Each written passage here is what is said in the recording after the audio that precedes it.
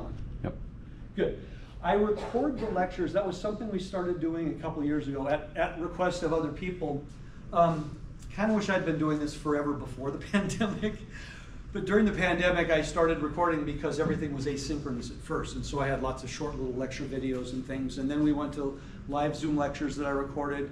But in the classroom, I've been recording a lot of my classes. I can't do all of them because it takes a long time.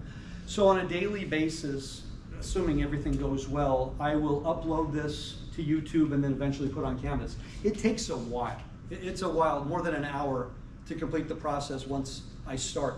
I have to transfer files to the computer, then merge the files, then upload. It's a slow process. But I will hopefully have them up the same day. And the reason's real simple. You went to lecture. You understood everything almost. and you go back and you rewatch something and go, oh, that's right, that's okay, now it makes more sense. Or you were sick and you stayed home, which I really would prefer you do if you're sick. And this is what we did in class today. It makes it a lot easier when you do that. Um, some of you take great notes, others of you don't like taking notes at all, which is dangerous in a calculus class. But to be able to go back and watch a lecture and even rewatch a section of the lecture, or maybe it's only 15 minutes of the lecture that you need, so you just go to that part. Okay, it's kind of nice. Another thing that YouTube does is automatically closed captions everything. So you have the right, and it. A lot of people complain. I talk fast, but not that fast, and I, think I enunciate fairly well. And even though it's math, I've watched, and it's close to 100% in terms of the translation. You know, it's pretty good. I've heard horror stories, but I think it's actually really good. I think a lot of the horror stories came from people wearing masks while they were recording. So if you got to look at any of my videos from other classes, I always had my mask pulled down below my chin. I, I cheated a little bit because I wanted it to be clear. We're going to review a lot of algebra today. We're going to get right into the calculus. Next day is probably the most abstract lecture of the entire three semesters of the calculus sequence, but it's absolutely necessary to set the stage for everything else we're going to do. I will not make any assumptions about your background except that you're qualified to be here. If your algebra, trig, or geometry skills are weak, there are ways that you can get practice outside of class, but I will review everything we need to know when we're doing it. And I do this in all of my calculus classes because if we're going to use a particular algebra thing or a geometry thing or a trig thing, rather than me just doing stuff and you saying, okay, I will trust him because Mr. Brown's usually pretty honest. He doesn't lie to us you know, that much. No, I want you to say, yeah, that makes perfect sense to me. I see exactly where things came from. I will never tell you a formula in this class. We will derive everything from scratch because you need to know where it came from because when you get to your physics and other things, you're going to be, have to setting up problems doing things. You have to know how to start things from the beginning and then move on. Now, I want to take it to Canvas right off the bat. This is how I communicate with you the easiest way. Um, how many of you saw the email that I sent with the syllabus? Raise your hand if you did. That's not bad, about maybe a third of you. A lot of folks aren't aware that you have a new email address. You have a district email address that was put in in July, and a lot of students aren't aware. All communications by the district automatically are going to this new email address. So if you get to it, and my son is going to Mesa College, and he actually had to search through, I think it was the web portal, is that right? And he, he found it, and there were all sorts of emails on there. What you need to do is find your email address, and then you have the ability to have it automatically forwarded to the one you like to use. How many have done that, by the way? Was it pretty simple? Yeah, you just go to Canvas and switch the email that you wanted to, and same thing for the um, portal. Yeah, do it, do it in the portal. Yeah, that's what you want to do because most of you will forget to check the district email. You're, you're checking your regular email on a regular basis and you go, oh shoot, I've got you know 20 unread emails. so find it, switch it over because all communications that I do with you, if I email the group, they're going to that address. Now, if you emailed me today from your other email address and I respond, it's going to that email address. That's not an issue. It's anything that I send to the class, I don't have access to your personal email, only your district email. That's why you want to have that one automatically forwarded. Unless you're really good and you check daily. I have to check multiple times a day. 100 emails for me is a slow day. Most days I'll get 200 emails. That's every single day. I've already checked my computer. I've gotten over 150 emails since this morning. A lot of them are people asking for add codes, others are just district stuff. So Canvas is a bulletin board. I put stuff on there for you to see. Canvas, Canvas is not a method of communication. Do not email me through Canvas. I might get the email, I will never get any attachments, I won't get other stuff. And sometimes I only get a notification that somebody tried emailing. No, email me at my email address, the one that's on the syllabus and things like that, right? The sdccd.edu address, the one I get all sorts of stuff from. Um, anything you email, send it there, not through Canvas. Again, Canvas is how I give stuff to you guys. It's not how you send stuff back. Now, here's where everything is located, under modules. That's the only place you need to go. So right off the bat, you see all of this stuff, and there's all these pre-printed lecture notes. There are short videos that are just you know, little helpful instructional videos that I made during the pandemic. I have every one of these lectures, I have a live version that's a Zoom lecture. That will be inferior to the live class, but these are things you could watch if you wanted to ahead of time. See, you can't rewatch today's class until maybe tonight. But you could watch the Zoom lecture of this class on my three by four whiteboard at home. And that a lot of folks said, you know, that really helps me get ready for the next class. And then I will have the live lectures posted here. And the first several quizzes are already up there right now. So let me go to the schedule.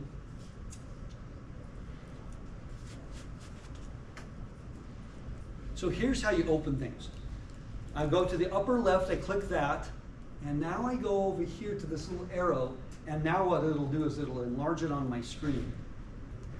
Eventually. There we go. Now the nice thing about this, I can print this and check this out. I can make it bigger smaller. You know, it's hard to read, so I'm gonna make it a little bigger. This is the schedule. You notice I don't have it by section numbers like a lot of your classes will. I have it by topic.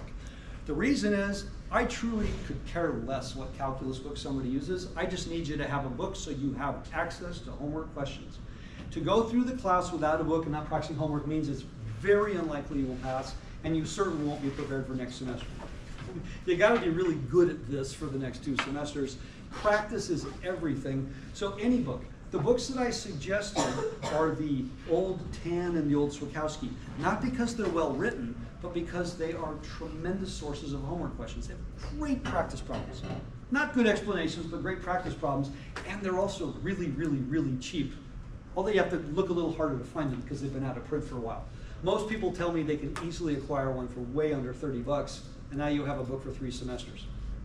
Don't buy a new book, whatever you do. And the online resources, like the OpenStax and things like that, those are okay, but most people say they're not very good. The highest compliment I've ever heard was adequate. I've never heard anybody use the word good with any of the free online stuff. It, it will get you by, but if you are struggling and you need better, having a physical textbook often is really useful because you can practice. Now, this is what we're going to do every day. You notice on Monday the 21st, it's no longer there. We had everything, everything's been shifted one class. So, what that did was, I shifted the first exam. Most of the classes I teach, I teach in a 32 meeting format. All Tuesday, Thursday classes meet 32 times. Monday, Wednesday classes generally always meet 31 times because they always have a holiday. So what I've done in the past is I often on Monday, Wednesday classes will throw in a Friday exam. I'll just move, that way I get one extra class back because at the end of every semester, every class, I like to do two reviews before the final. I like people to have more time. Most of the classes you take between now and college graduation will not have any form of a review. I did graduate work in mathematics at UCSD, graduate work in statistics at San Diego State. Never had a review in any class I ever took. And we're talking like 60 classes, 70 classes. There is no review. you have the last class, you have the final. That's just how it works. We have review because I want that cushion of time so you're prepared. But to get that normally in a Monday, Wednesday, I would have a Friday exam. I didn't do that this semester, but now I'm doing it because we just lost a class. So the original exam one was supposed to be on this date, on Wednesday the 27th. What I've done is I've moved it, here's the schedule, see the little star, I've moved it to Friday the 29th, which is right here, which means that you can take the test any time between Wednesday and Friday, but I will select a room and actually have a room available on the Friday. Most people will say, no, I'll take it Friday. I want the most amount of time humanly possible to prepare. But you might say, yeah, can I take it on Thursday? I'll say, yeah. You might say, I want to take it Wednesday afternoon. Okay. We, if you're not going to take it Friday, we just work out the logistics. But you basically have like a 48 hour period. The reason is we need that class back. What a lot of folks are doing because of Monday's loss, they're just cramming more material in. I don't do that. That, that no work. We have a two and a half hour class.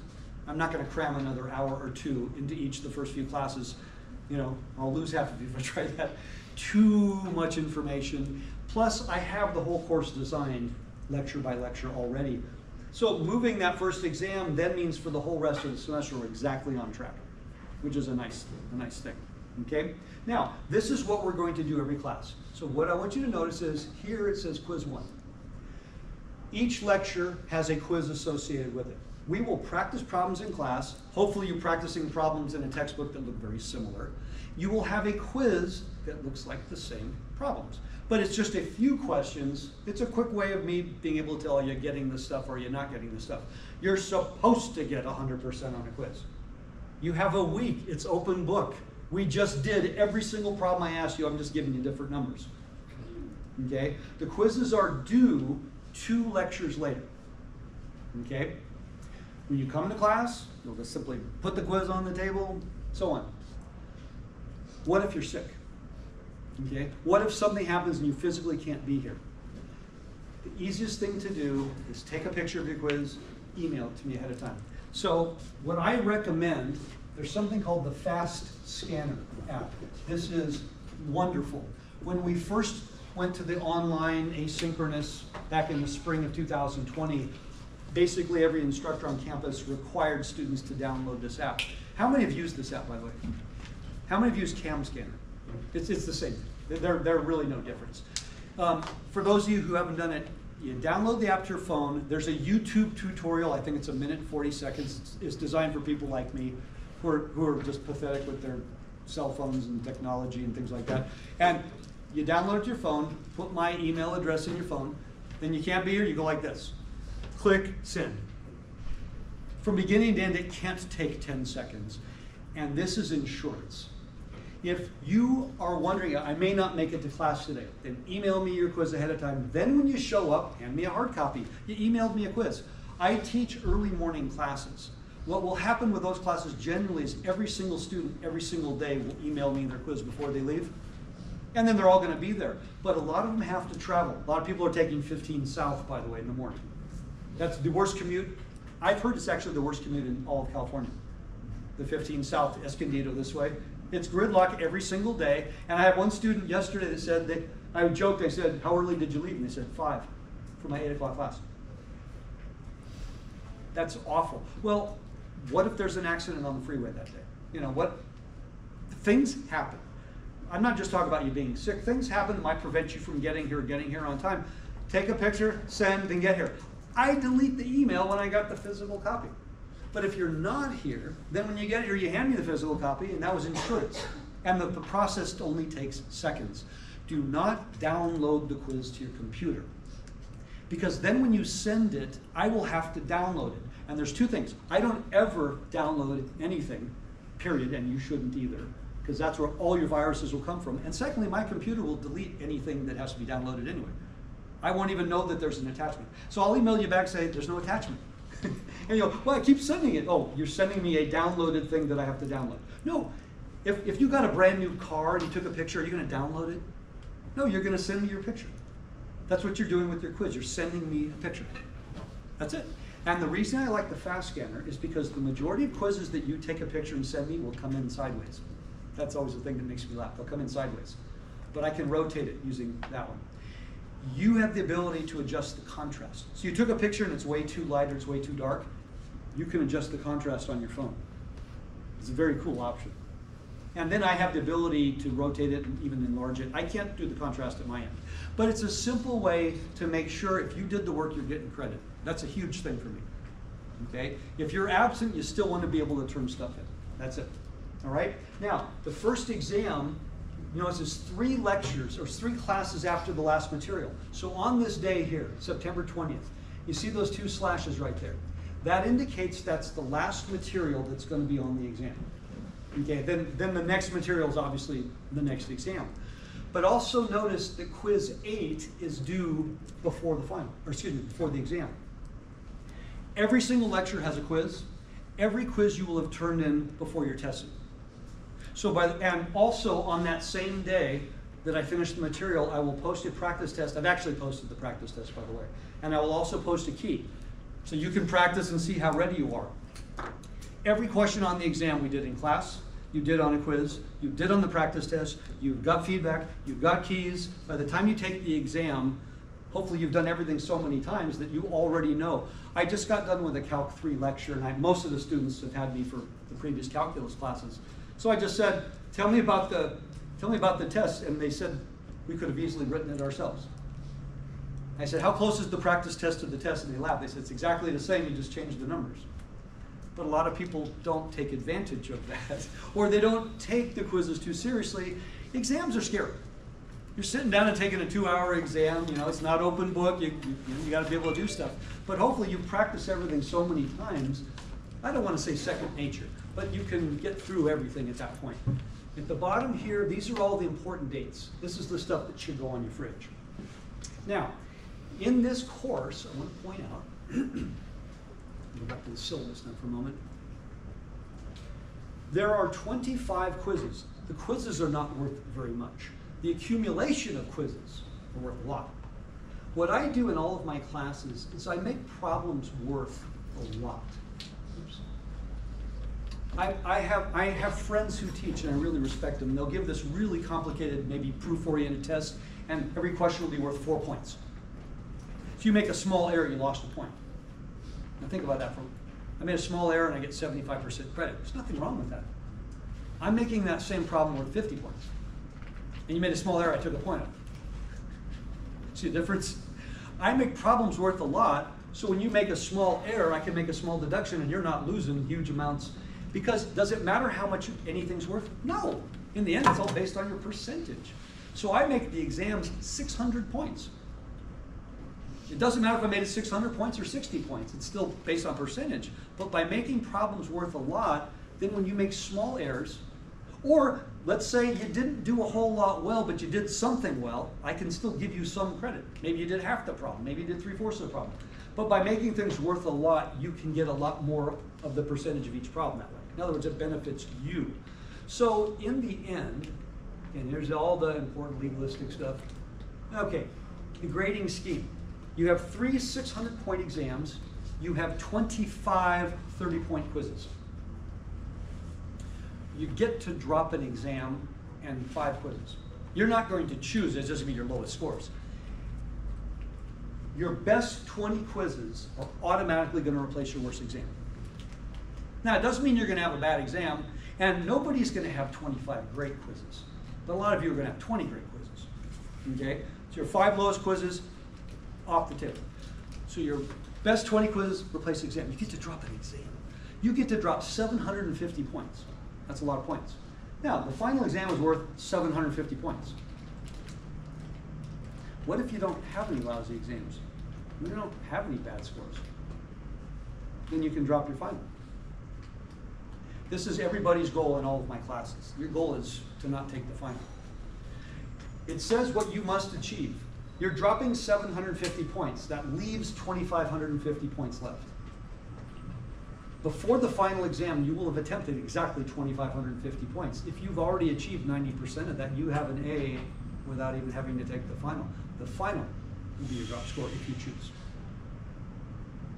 The final only counts if it exceeds your worst test and worst five quizzes.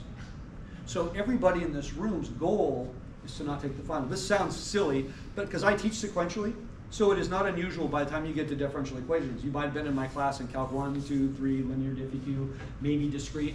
I've had people that have, and I had one person have me seven times because had stats over. I had people wish they wore t-shirts that said, I've never taken Mr. Brown's final, and they were very proud of that. And I just thought that was really weird. But I have students at the highest level every semester, but they've never taken a final. They made sure they earned an A in every class before they got there. And I'll explain when we're preparing for the final why I do that. Because most of you will find out it is rare that your final exam will actually affect your grade. That's actually really unusual. You said that you have two days after the lecture for the quizzes, right?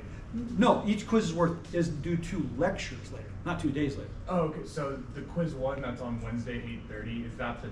That's today's lecture. to- Okay, so today's le, okay. Said two, now I said two, it's due two lectures later, because when there's an exam, let me go down a little ways. Here's exam two, okay? Exam two is not a lecture. So the quizzes or the lectures right before there, exam two is in the way, so you actually have an additional class. Does that make sense? You have an additional class for those two because uh, there was an exam, so it's always two lectures later. So when we have Thanksgiving week off, two lectures later now makes it two plus weeks later. Everybody okay with that? A lot of folks say they're always due one week later. Most of them are due a week later, but some are due longer. Nothing's due less than a week later. Okay? And at the end of the course, your last two lectures, here's, here's the last material. Then you have a week off. Then you have the last two lectures. Then you have your exam. Oh my gosh, that third exam is so far after your last, you have almost three weeks for that one to prepare. And then you'll have your review and your last two quizzes that were on the last, those last two lectures. Every lecture of the semester will have a quiz, and almost every lecture will be on an exam. So again, you could write the tests for me in the end, because you know exactly what I'm gonna ask, you just don't know what numbers I'm going to choose. And that's why in calculus, it's all based on practice and recognition. Once you recognize how to do a problem, you'll know what to do. But, but we learned so many things and there are so many formulas. Now, when, I'm not gonna talk about exams till we get closer to an exam, there's, there's just too much going on. But that schedule is, is kind of a main thing. Okay, anybody have a logistical question? You know, again, this is important that you understand the structure and the format and all that kind of stuff. So the quizzes are online, right? All the quizzes are on Canvas. Okay, and then we're, we have to print them out and that's the hard copy that we give to you? you have two choices. Print the quiz, and do your work on separate piece of paper. I, I'm giving you the questions, I'm not giving you space to write. I'm just giving you the questions. Do your work, please take as much room as you need. don't try to squeeze everything into a corner and it can't be read. Um, I don't need you to take multiple pieces of paper, but certainly most quizzes you can probably get by with one sheet of paper, both sides, you know. But give me some space. I gotta read these. My eyes aren't that good. And then you just staple it to the cover sheet. Or you say, I don't want to print the quiz, then just do all the problems on a piece of paper, and number them. The prob- there's two problems with that. I, I like it when you print the page. Two reasons. One is about half the people will print the sheet, half of them won't. That's okay. But the half that won't, at least half of them will make at least one error for miscopying a problem because they don't have the problem in front of them. They will simply do a different problem. How do I know? This is every single class I teach. The majority of errors come from the people who didn't print the quiz. They did the wrong problem. Secondly, one of the most effective ways to prepare for the exam is to retake your quizzes. Do you think you're going to remember your answers to quiz one a month from now? No, so they're brand new questions. But because I post a detailed key after each quiz, you can retake each quiz, grade yourself, and there's two things. If I got it right, do I still remember how to do it is the key. And if I missed it, have I got it right the next time when I tried it, walking into the exam? In other words, have I figured out that material? So you have a physical practice test, but really a secondary practice test by redoing your quizzes. Most of the students tell me that redoing the quizzes is maybe one of the most helpful things. When you're preparing for the final exam, retaking your old exams is one of the most effective ways. You see, it doesn't matter if you know it today if you forget it later. But if you don't know it today and you figured it out later, then you're good. Probably better to know it today and remember it later, right? That's our goal. But there's so much information that you will forget stuff. Again, more information in this course. Interesting thing is calculus is one of the slowest moving courses there is. But a calculus course has no review built in. Everything is new. That's why we will constantly review throughout the lecture and throughout the day. Okay? Questions are welcome at any time. So when we're doing a problem, uh, close this off. We're doing something and you're not sure how I did that, that hand should go up. Say, can you explain where that came from, kind of thing. You know that if you have a question, it's probably safe to say half the people have the same question. You were just the smartest one to ask. Um, do you have like sections or, or like little time slots where we like talk about things from the, from the past lecture about the quiz or anything like that? I have office hours. Yeah. The, in fact, for this class, I have office hours immediately following the class. Um, one of the things on a daily basis, when the lecture is done, I'm gonna concentrate on the video, but it's gonna be forty-five minutes minimum, so that's about how long my office hours are. I, I only have to be there, I don't, I'm not doing things. So I leave from here, I go directly to my office, that's the perfect time to follow me. I also have office hours early in the morning, don't come to those. It's three hours before class, why would you come to those? By the way, if you're already here, great. You do not have to make an appointment. You do not have to come only to one certain office hours. I put office hours next to every class I teach so that the people in that class, it's convenient. But anybody can go to any office hours. I have office hours Tuesday, Thursday. If you're on campus, swing by then. You can also email me. I answer emails all the time. I would prefer you ask me the math question in person. So you're holding your book and say, okay, I'm stuck on this problem. When you email me, could you imagine texting me a calculus question? Anybody ever do matrices? I had somebody try to type a linear algebra matrix. Yeah, you can't. No, yeah. You, so what a lot of folks do is they take a picture, they get a little sticky note with a little arrow, they'll take a picture of the problem and say, I'm stuck here. Or am I on the right track? Or I'm not sure what to do next. These are the questions people email me. Those are great questions. And I will explain the best I can, but it's really hard for me to type a calculus answer. Do you guys understand what I mean? That's why if you can come and ask me in person, it's so much easier to communicate. But what if it's Wednesday afternoon? What if it's Thursday, Friday, Saturday, Sunday? I don't want you to wait till Monday to ask the question. Ask me when you have it. I'll do my best to answer it. Now, I do get a lot of emails. And once the semester starts and people email me quizzes, I'm going to get 50 to 100 emails that are just the quizzes, not the 100 district emails I already get. So you emailed me and I haven't got back to you in a few hours. I could be ignoring you, but it's more likely I'm in class, you emailed me, and by the time I get to my email, I've gotten another 50 to 100 emails, which means you're on page two. And you have to go top down. So it might be hours before I see your email. So email me again. Just resend it. So I'm resending this because I haven't heard back from you. And then I'll answer it, and then later when I come across the other one, I do go through every email, and it takes a long time every day. But I do go through every one because some of them are junk. But if it's a student email, I try to answer it to the best of my ability. Sometimes they don't, you know, you just say, Mr. Brown, I'm not going to be here. It doesn't, doesn't require a response. You know, that's not a big deal. But if it's something where you have a question, if I haven't got to you, send it again. Again, I'm not making excuses. If you saw my inbox, you would laugh if you looked at the times. It'll say 8 o'clock, 801, 801, 803, 804, 807, 809. Between 8 and 9, I got 75 emails today. it's just, that's just a normal day. So if you emailed me and I haven't looked at it, you're probably page 3 by now. So do that. Um, we're going to start doing some calculus, but before we do some calculus, we're going to do some review because trig, algebra, geometry are all equally important in the setup.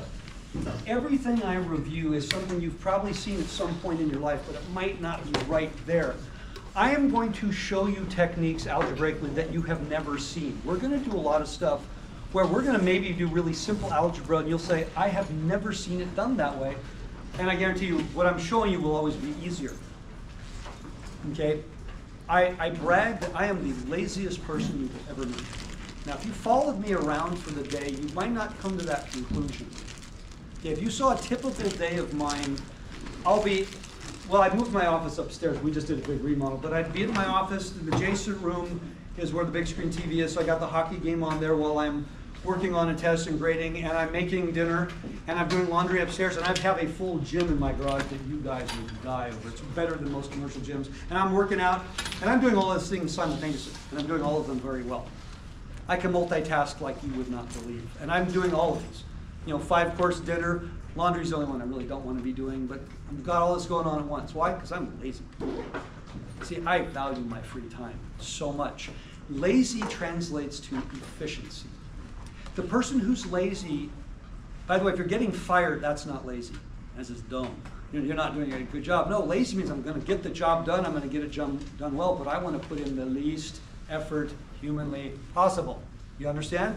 If this is the question and this is the answer, I'm going to show you how to do this. Most people in calculus do this. A lot of sideways motion, a lot of extraneous steps. Most algebra books will show you lots of steps, and I'll do the problem, I'll show you most every algebra problem you've ever run across in your life can be done in either one step or two. And I'm not joking. I can't even think of an algebra problem that would require a third step. But the textbooks, might have 20 steps involved, and I'll say, no, these are unnecessary. Doing a step in your head is still a step. We want to go from question to answer. We want it to be clear. We want to understand. And I will show you when you're efficient, it doesn't make it harder. It almost always makes it easier. And it's so much direct. Here's the idea I, I, I need you to run over next door and grab something. So you go out the door, you go down, you go down the stairs, you go out the building, you go around the building, you go up here, you made it next door. You did exactly what I asked. That's what most people do in calculus. I'm going to show you how to go next door really quickly and efficiently. See my point? You, can all get the answer eventually, but I don't want eventually, I want directly. Because if I asked you to explain it to someone else, would they understand? Would they be able to follow your reasoning? Maybe, maybe not. But you want it to be absolutely clear, everything you do, and you want it to be this is the obvious step I want to do. Okay, so let's start with a little bit of algebra. One of the most important things that we deal with in this class is domain. Now, we are starting Calculus 1. Everything you've ever done in your life before this is technically pre-calculus. It was a development for calculus.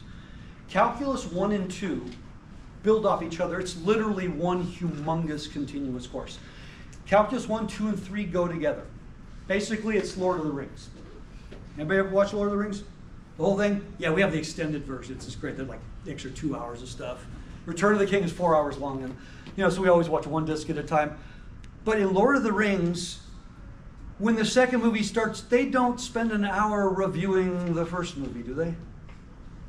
Isn't the first minute of the second movie would have been the last minute of the first movie? And same thing with the third. That's how calculus works. Your first day of Calc 2 is the next day of Calc 1. There is no going back and saying, here's what we did in Calc 1. It doesn't work that way. It is one humongous course that's split into thirds. You've had algebra courses where they kept reviewing. I'm not even going to ask about your pre-calc because you'll probably make me sad. But when I ask people pre-calc, oh yeah, pre-calc we, we graphed lines, we solved quadratics, uh, you know, we, but you did that in pre-algebra, elementary algebra, and intermediate algebra. Why would you do it in pre-calculus? My God, if you can't graph a line by elementary algebra, you're in trouble. Most people tell me what they did in pre-calculus, and it's exactly what they did in pre-elementary and intermediate. I needed you to be experts at conic sections, logarithms, exponential functions, fundamental theorem of algebra, which should take about a month of the course, but it might not have taken one day. Most of your pre-calculus, you did all the things you already knew. So therefore, the vast majority of all human beings will say the easiest math course they've ever had in their whole life, without any exceptions, pre-calc, because it was the only course they ever had where they learned nothing new. And that's a problem. You should have learned a lot new. Sequences and series, did you spend a lot of time on those? Because you needed those for Calc 2, right? Uh, partial fractions decomposition. Something maybe, yeah, proof by induction. These are things that the state requires that your pre-calc course may not have done because your instructor said, I want to keep it easy. I want everyone to like me. But they didn't prepare you for calculus if they did that. So we're going to review a few concepts. Calc 1 and 2 is the calculus of two dimensions. Calc 3 is Calc 1, more or less, in three dimensions. I just gave a Calc 3 lecture. So here's what I want you to all do. Close one eye. Now, you are going to master over the next two sections all the math of real numbers of this. Now open your eye.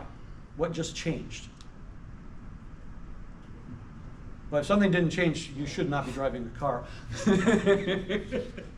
what just changed? Yeah. Deb, you now can see 3D. You've never done and will not do any math until Calc 3 that's 3D. Now in Calc 3 you do all of this and you extend it to 3D because you've mastered the calculus of two dimensions. Then you extend it to 3D. Then when you go to your upper division classes, how many are engineer bound? Okay, one of your first upper division classes is going to be a course called complex analysis. It's the calculus of complex numbers and everything gets weird. So you're going to you're going to then go to a different realm, but you're going to master calculus of real numbers. But before you do it, you have to be really good at algebra. What is domain? Well, if I have a function, if I said, I'm going to start with a simple function, y equals f of x. Most of Calc 1, we study functions. We don't study weird stuff. We, we stick with functions. You're gonna, you have a younger brother or sister who's just starting algebra, and today the instructor talked about domain, and what does that even mean? What, what kind of words would you use? What is the domain? There's another word that often goes with domain, a pair of words, domain and what? Range. So they're not the same thing, are they? What is the domain referring to? All X Okay, and what's the range referring to? One. So let's use a different word. The domain is everything that I can input. What's the range? Output. Everything that's output. They're not the same thing, are they? Quite different. Domain is literally the set of possible inputs. Um, a lot of folks say set of x's. Well, that's only if x is my independent variable. I could have f of t. You say, well, who does that? When you get to physics, 195, most of you will take that next semester. The horizontal axis is always t. You know what the vertical axis usually is? x. So that's why I said be careful. x and y we do in algebra, and we do in calculus because we don't want to forget what it means, but it's not a rule. So rather than use a variable, it's the inputs, because I could easily use a different letter of the alphabet. In other words, the independent variable can be many, many, many things. The dependent variable depends on what you input. So we don't care about the range in this class. In general, we could care less about the range. In fact, if there's any complication of the function, I can't even tell you the range without a graph. I'd have to see a picture. And that should never be necessary to answer the question. But I can always tell you the domain of something. So if I have a function like this, let's keep it simple. I have f of x equals x squared. I have f of x equals 1 over x. I have f of x equals the square root of 9 minus x squared. The domain is what is possible to input. The first one is our favorite domain. What's the first one in words? All real numbers. That's is that your favorite one? Yes. Anytime you can get that one, that's the one you want. That means there are no restrictions. Everything's good. So there's two ways to say that. I can literally say my domain is the set of real numbers, which we usually write as a script R. But most of the time, we like to give intervals. So I'd say it's negative infinity to infinity. If I can give an interval, that's usually the best way of saying it. Now, the second one, it's almost all reals. What do you think? All reals except zero? Yes. Everybody okay with that? Yeah. How, how do you say that mathematically? There's a couple of ways of saying that. Let's start with the interval. Is it this? It's almost that. Remember, the open parenthesis means I'm not including it. So I've just given you the whole number line excluding the zero. That's fine. That's correct. But in words, when you said all reals except zero, that doesn't look like that. So there's another way mathematically that a lot of people like.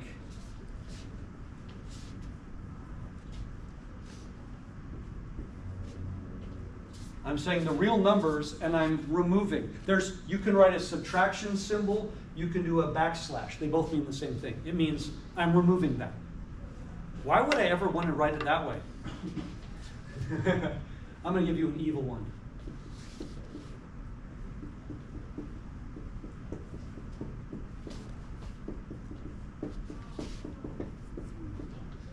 If I use interval notation, I have to write five intervals union. Right? Because I have to have the four. Would you say big yuck on that one? But in words, what would you say? Words. You'd say all reals except. That's a four. Except negative four, negative one, three, or six. Do we all agree on that one? Do you want to write intervals for this one? Oh, heck no. Do you see why a lot of people like this notation better? it's just easier to say what I need to say.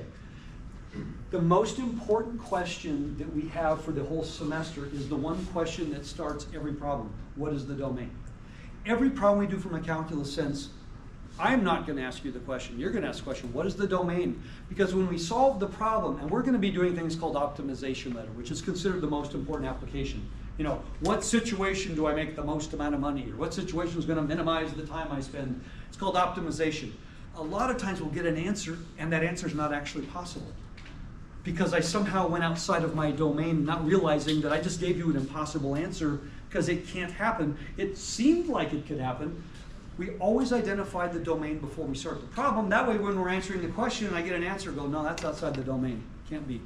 It's extraneous. It's not hard.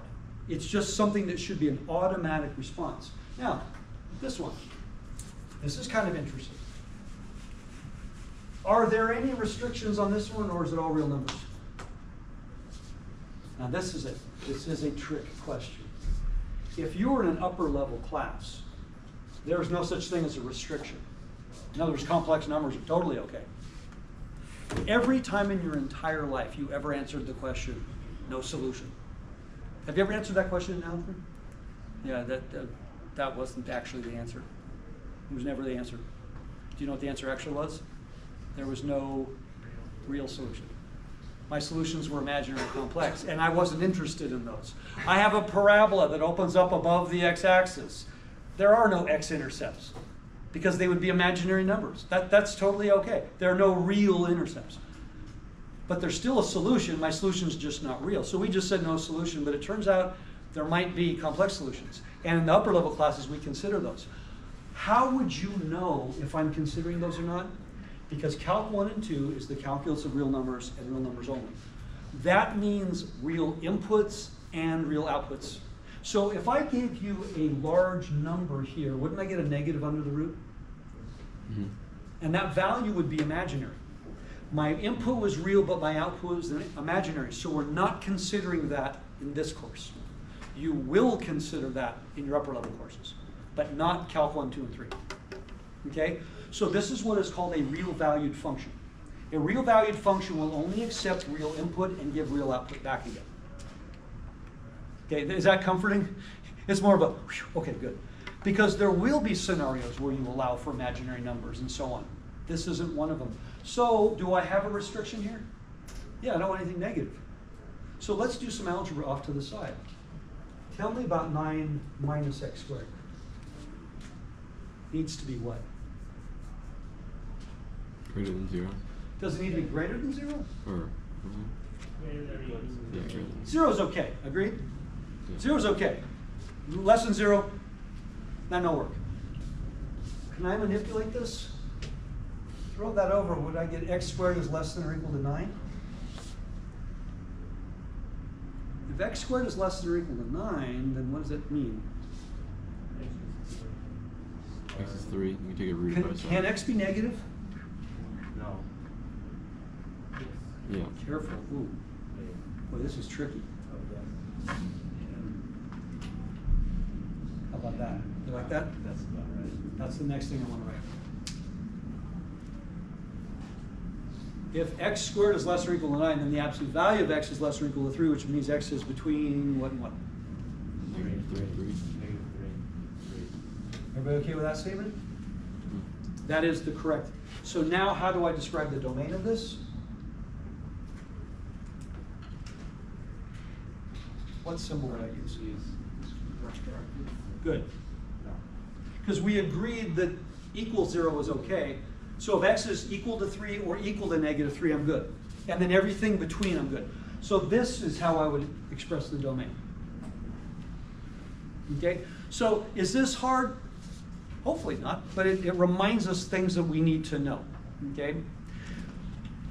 Now I want to do a little bit of review of something else, because this is one of the things we're going to use quite often in this class, and it comes from what's called the fundamental theorem of algebra.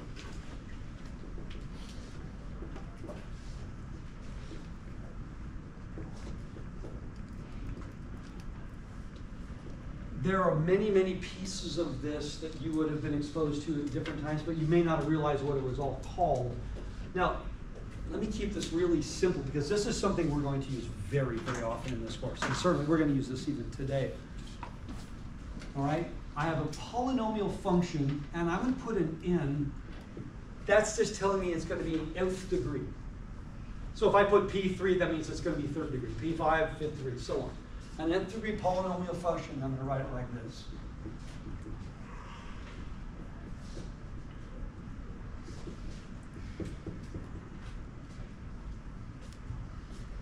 N has to be a positive integer or this would not be a polynomial. There's no square roots, you know, no weirdnesses.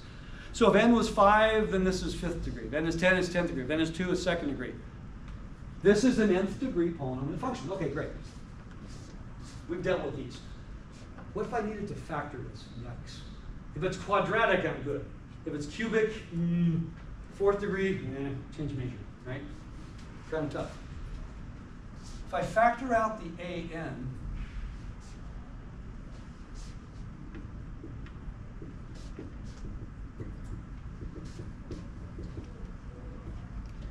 absolutely this can be factored into n factors. Absolutely. You notice I factored out the lead coefficient. So if I multiply all this back out again, I'll get the original. The r's are called the roots or the zeros of the polynomial. Hopefully you've heard those terms before. I like using the term root. Zero, the zero of a polynomial isn't the number zero. It's the value that would cause the polynomial to equal zero when evaluated there. So if I said, keep this simple, if I said what's Pn of R2? Zero. Every one of these values, if I plug it in here, will give me zero. Because it would make one of those factors zero. Every nth degree polynomial has exactly n roots. Some of the roots can be repeated, and some of the roots can be complex. Does that sound familiar? And the complex roots generally come in conjugate pairs. Is that an absolute rule? It's an absolute rule if the coefficients, the a's are coefficients. If those are real numbers, then complex numbers must come in conjugate pairs. Is it possible I could have one of these, those aren't real numbers? Yeah, but that's way, way later in life. Right now, all real numbers, coefficients. So that means that every polynomial, absolutely every polynomial can be factored. Let me have, I'll have some fun with it.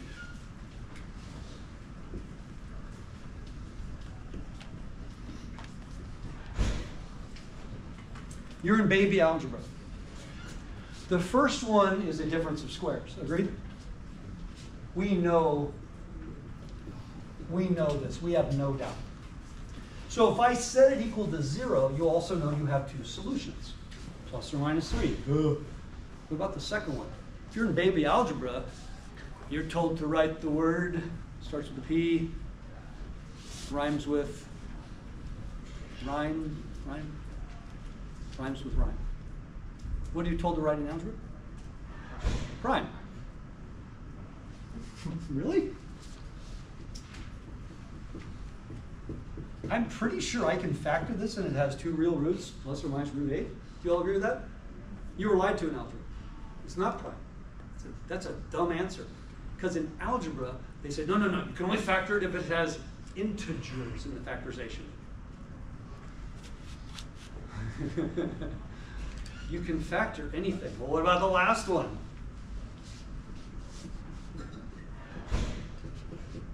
It has two imaginary roots, and I just factored it. Absolutely everything can be factored. There's no such thing as prime. There are factorizations that do not involve integers or rational numbers. That is true. So in algebra, we say if the factorization does not involve rational numbers, that's what we'll call prime. But the problem is if I set this equal to zero and said solve, these are easy. This one is imaginary, but I factored all of them. Everything can be factored, but not everything has real roots. You with me on that? Okay, so most of the time we are concerned. Now, here's the other thing. Here's, here's one of the main things, and this is part of the fundamental theorem. I haven't factored anything yet. Now, going back to pre-calculus, I have to factor this. So you use synthetic division, you remember, to try to find roots? You looked at every possible integer factor of this one, you looked at every possible integer factor of this one, and then you took every possible quotient. Remember that? Those, was called the rational root theorem. And then you use synthetic division and you tried numbers until you got something to work. So here's the rule. If Pn of C, for some number C equals zero, then x minus c is a factor. This is the most important fact that we're going to use in this class. And the funny thing is, I used to teach math 46. We learned this in 46. It's called the remainder theorem. If I have a number that when inserted gives me zero, it means that x minus that number has to be a factor because remember, it comes back to this. So what you did in pre-calc probably was you tried a little bit of trial and error. You found possible roots, you put it in, use synthetic division. If you got zero as your remainder, life was good. Or you just plugged it in and got zero. Life was good. And then you knew what your one less, and you could whittle it down, you know, eventually. Well, in calculus, we do this kind of stuff all the time. So let me give you a really simple example. I want you to consider the following problem, and we will come back to this one.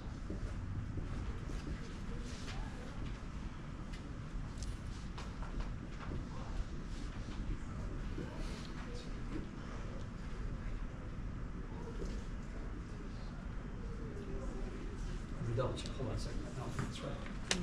Hold on.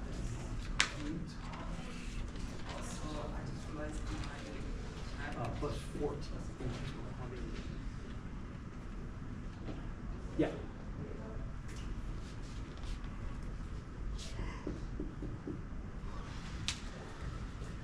I want to know what is the domain of this function, and I would like to know if this function can be reduced.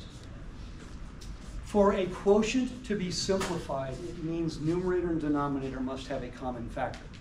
That's the only way you can reduce a quotient, okay? Yikes. So that kind of means I have to factor everything, doesn't it?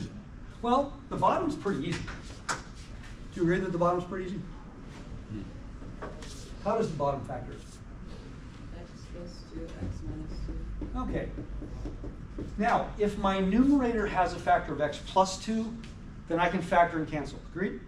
If my numerator has a factor of x minus 2, then I can factor and cancel. And if my numerator has neither factor, then I'm done, aren't I? There's nothing to do. Agreed? Those are my options. Well, how am I going to determine if the numerator has those factors? Just plug the number into your numerator. This is the easy way. So sometimes the process isn't hard. Let's put a negative 2 into the numerator to see if x plus 2 is a factor. Okay? Let's put a negative 2 up here. And what would this be? It would be negative 8. So that would be 4 times negative 7, so minus 28. Negative 2, so that'd be minus 6 plus 14. Is that 0? No. So is x plus 2 a factor of the numerator? No. That's it. We're done with that. Now let's try positive 2. If I put a 2 in here, what do I get? I get 8 minus 28 plus 6 plus 14. Hmm. What do you think? Is that 0? That means x minus 2 is a factor. I'm going to go out on a limb here.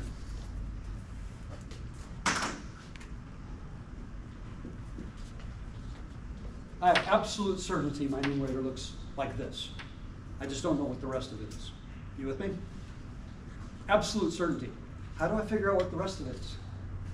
Well, the simplest way is not the only way, but probably the simplest way is to use synthetic division. Long or synthetic, but synthetic would be easier. I'm trying to factor my numerator and I already know, right, that 2 is a root. So you guys remember how to do that? You take all the coefficients and write them in descending order. And what goes here? The 2. I'm checking 2, not negative 2. I'm checking the root. So this is a quick reminder of, uh, we do use synthetic division often.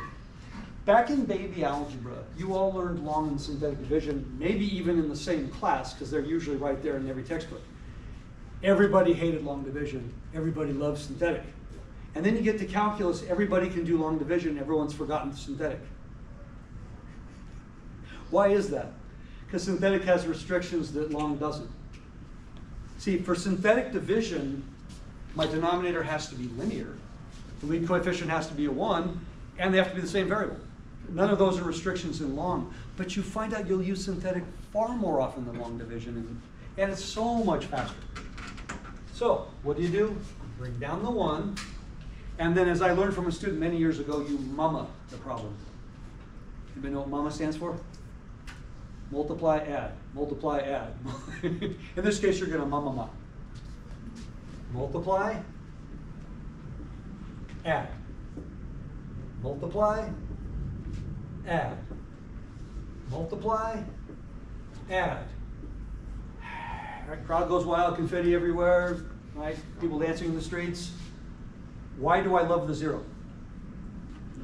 Because that's the remainder. In synthetic division, that's the remainder. That means it was a factor. If that wasn't zero, I'm in big trouble, aren't I? So how do I interpret what I have left? Constant, linear, quadratic. So how do I determine what's left?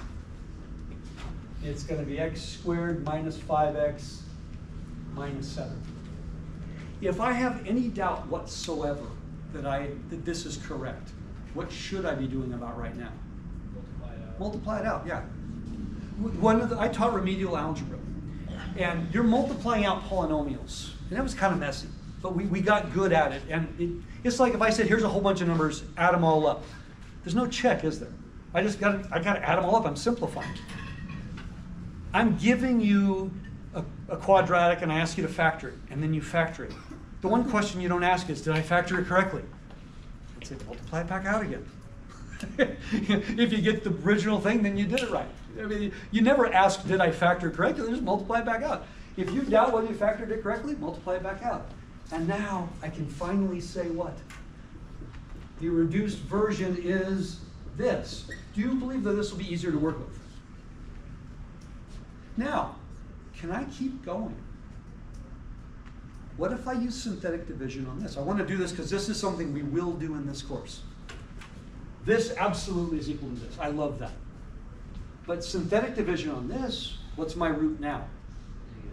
Negative 2. It's what makes this 0. And what are the numbers? 1, negative 5, negative 7. Now we're going to get mama it. Negative 2, negative 7. 14, positive 7. That's not a 0. We weren't expecting a 0. I'll bring this up here. I know I, I apologize. I, I see the back row people when I see you moving sideways. There's a line in the sand. I think it's about about here. Am I right? That the people in the back you can't see below this line. so I, I try to keep everything up for the folks in the back. So what does this now equal? X minus 7 plus 7 over x plus 2. Everything we did are skills that we want to sharpen because they're skills from earlier classes that we may not have used in a while. Now, I said I wanted the domain of this also.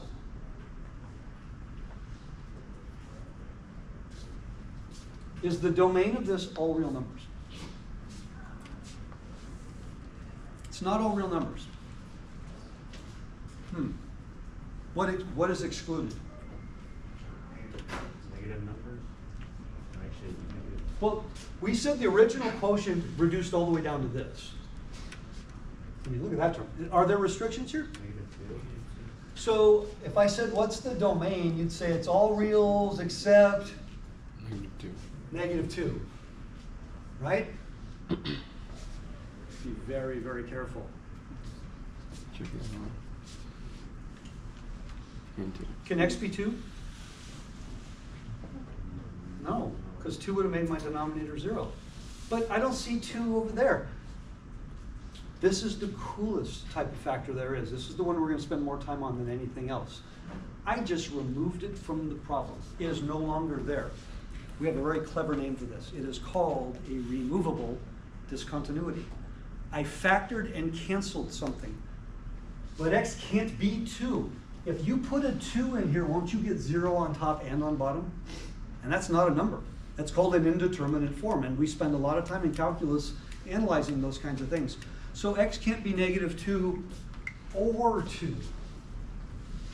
Just because I eliminated it from the answer doesn't mean it, you know, it's, it's fair game. So we're going to look at a little bit of this, again, right after the break. Some of these things I'm going to come back to. So let me go back. This is, this is a remedial algebra question now that I'm going to ask. I've got f of x. We're going to come back and look at this in just a few minutes. It's x squared minus 1 over x minus 1, and I want to draw the graph of this. Because I want to study the graph. Obviously, there's weird stuff going on. Do you agree? Clearly, x cannot be 1. What if I put a 1 in my numerator? Zero. I'll get a 0. If it's zero, it's zero. So that means that x minus 1 has to also be a factor of the numerator, doesn't it? If I'm getting 0 over 0, then I have something that's a factor of both because it was a root of both. Huh. Do you agree that that's what the numerator factors as? So what does this quantity equal? It's just x plus one. Hold the phone. My domain has a restriction here. It's the illusion here that it doesn't have a restriction. Is there a restriction? Yeah, we're gonna go back to remedial algebra. If you were in a remedial algebra class, I call it the disclaimer at this point. This is absolutely equal to this as long as x is not equal to one. You have to write that in there because that's a domain restriction. X cannot be one. No, I said I wanted to draw the graph of this thing. Well, the graph of x, graph of y equal x plus one is pretty darn easy.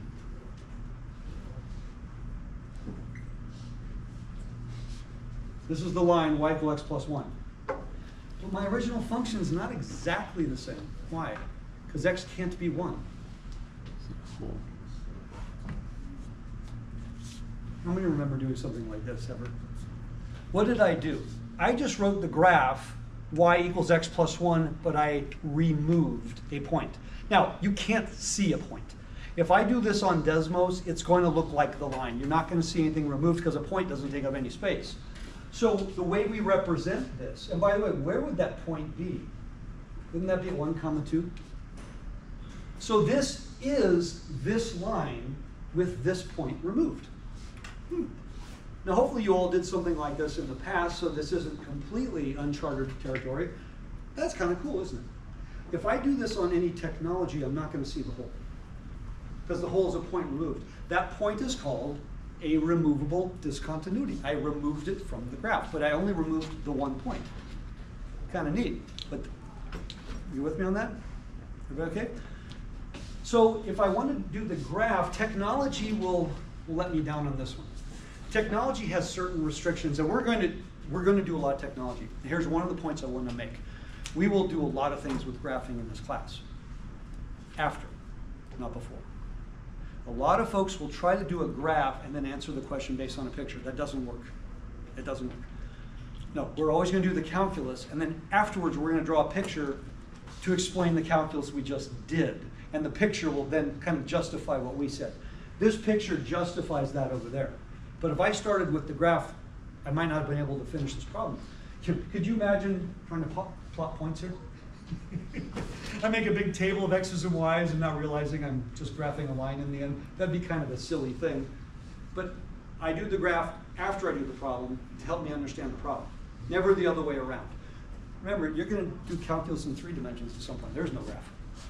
There's never going to be a picture anymore because you can't do that in 3D. All right? Now, the last piece of review today, this was reviewing the fundamental theorem of algebra, which in no other, if you don't think of it any other way, if I have a polynomial and I have a quotient of polynomials, any number that makes the numerator and denominator zero simultaneously, then x minus that number must be a factor simultaneously, therefore I can cancel. And that's a powerful tool that we're going to use often in this course. Okay? There's a name for this, and I need you to know it. I use vocab all the time. I'm using math vocab because I want you to build your math vocabulary. And we're all guilty of this. You're understanding everything goes on, and I use a word you've never heard. And, and everybody just saying, mm-hmm, yep, mm-hmm, mm-hmm. And in your mind, I have no idea what he said. I use one word you don't know. What happens to the rest of the class? It's gone, isn't it? I use one word you don't understand, you can't follow the rest of the class because you don't know how it's going to relate. If there's vocabulary you don't understand, you have to ask because I'm going to constantly be introducing vocabulary that's, that's very specific to what we're doing. This is called a rational function. We're going to do these more than most things. What is a rational number? What's, what do you think? Number that can be written as a fraction. Perfect. Ending up like three fourths. Would an integer be a rational number? Seven? Yes. Because I could write it as Seven over one. seven over one. So any number that can be written as a fraction, and by the way, the definition of a fraction is any number that's a quotient of integers.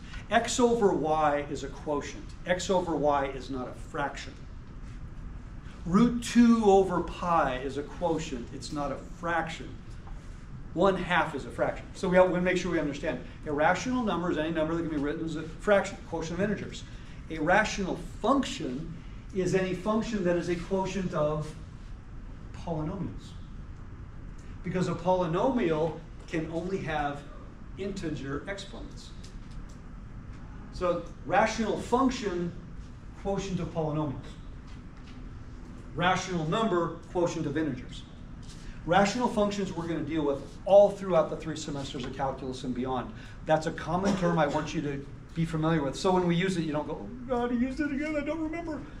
I have a, a funny story I tell every, every class. And, um, a few years back, I did my mathematics at UCSD, and then I waited several years, and then I did statistics at San Diego State, the master's programs.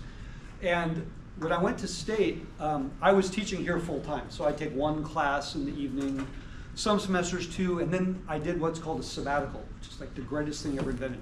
That's where they paid me my full time salary to move to the top of the pay scale. They paid me my full time salary so they could pay me more when I was done. Gotta love something like that. So my last semester at State, I was a full-time student, but everybody knew me there. They knew I was an instructor. I actually led two hiring committees when I wasn't even a student there, on for statistics professors.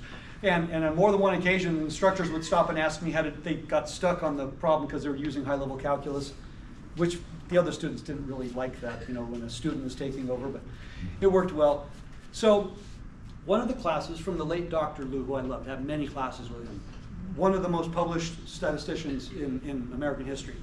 And he's teaching a class, it's a really gnarly class. And all, everybody in the class is a PhD in something, you know, a lot of health sciences and different things.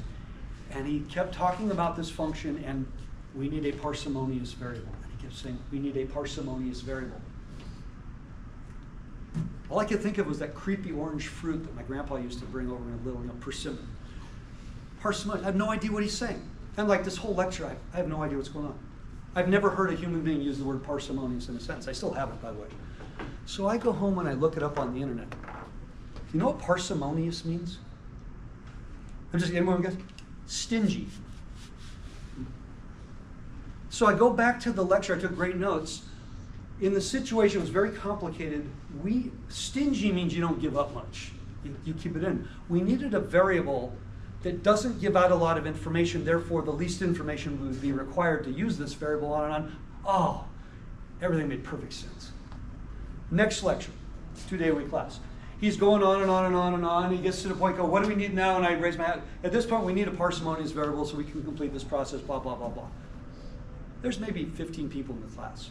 It got absolutely silent. And I could actually hear, he said the word. Class is over, the instructor leaves. Literally, the entire class, they run, they block the door. Could you explain to us what that means? What? Every person in the class, when he was talking in the first class, oh, oh yep, mm-hmm, uh-huh, and I'm sitting there going, I have no idea what he's talking about. So I went and looked it up. I understood everything from that whole week. These people, the whole week was gone. They were asking me to explain what just happened the previous two classes. They were all faking it. We are all guilty of doing that when we have no idea what's going on. Uh-huh. I have no idea what talking about. No. What are you talking about? Please ask if you are not sure because you're going to lose what follows. I'm not going to ever use obscure vocabulary. I'm going to use common vocabulary, but it might be new. When we get to linear algebra, oh my gosh, you learn so much vocabulary that you never heard all in a short period of time because it's for that next you know, section of things if there's one word you don't understand, everything can go astray. Now, I'm going to do a little bit of trig review right now. We'll take a break and then we'll come back and we'll actually physically start the calculus. I'm going to show you all of the trig you've ever learned in your entire life that you need. You ready for that? It's not going to take that long. All the trig you've ever learned in your life that you absolutely need to do calculus. Okay? And hopefully everything I do you've seen. I know, I know, I know. I can draw perfect circles. Can't draw line segments. I have a perfectly constructed rotator cuff. People are always amazed at my circles. You should see my spheres. But if I try to draw a right triangle, people, that's not even a right angle. It's kind of sad and pathetic.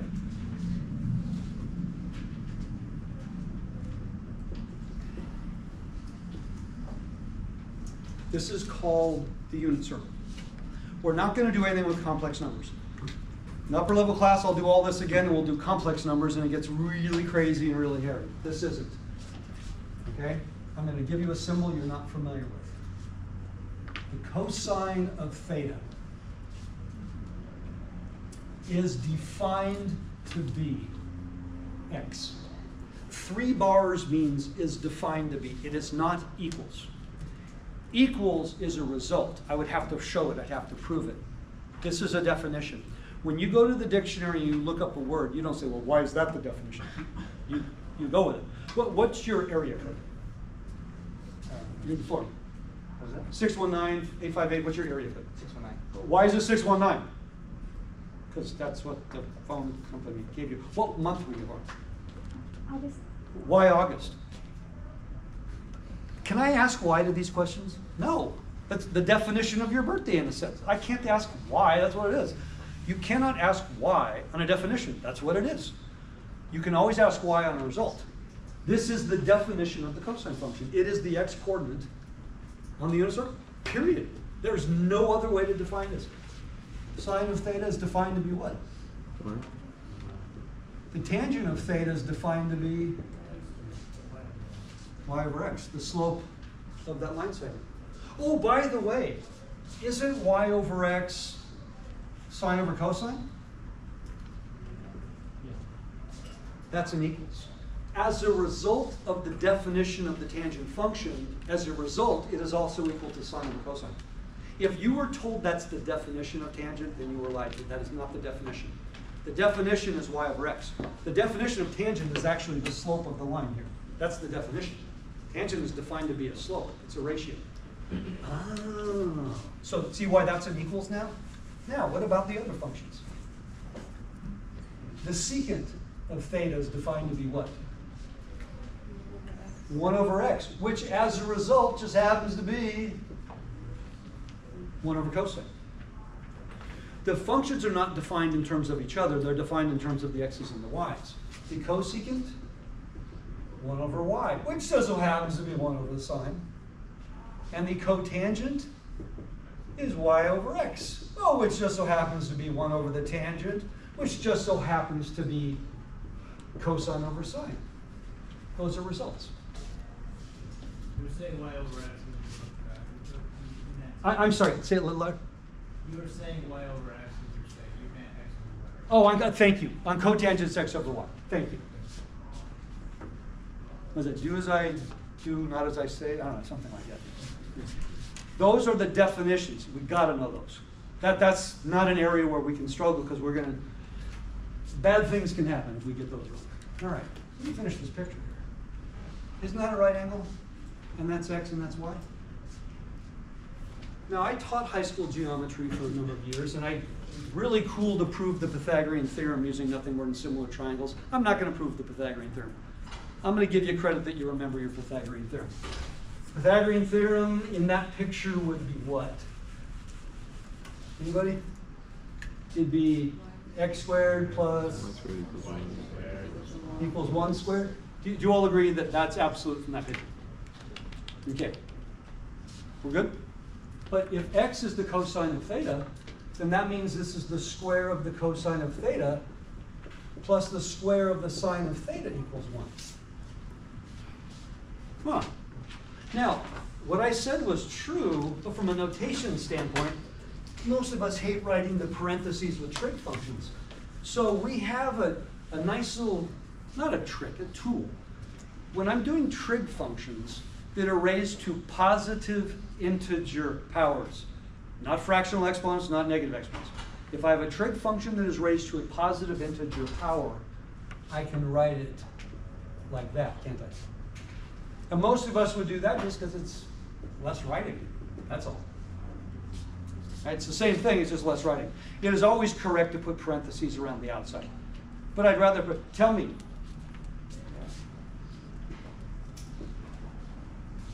What do you think? What's, what's wrong with that? The theta squared, not.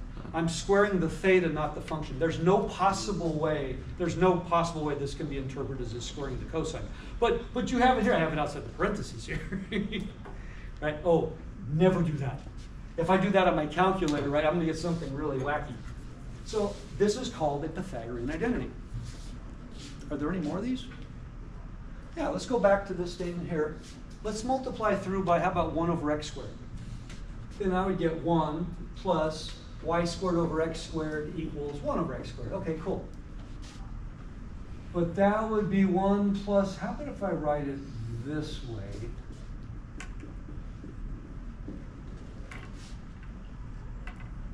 Which if I now go to here and here, this is 1 plus what? Tangent squared. The square of the tangent function equals. Ooh, that's kind of cool. Is there one more? Yeah, I do the same thing, but multiply through by one over y squared.